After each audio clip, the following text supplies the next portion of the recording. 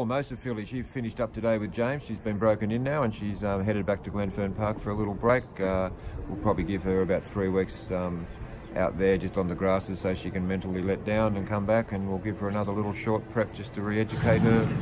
Uh, like the others, she'll probably see the end of winter, early spring and then we'll, um, we'll amp it up a bit. Um, I'm hopeful that she will be one of the ones that may be an early two-year-old. She was nominated for the Magic Millions Launceston race, and that'll be a little goal if we can uh, get her there without pushing her over the top.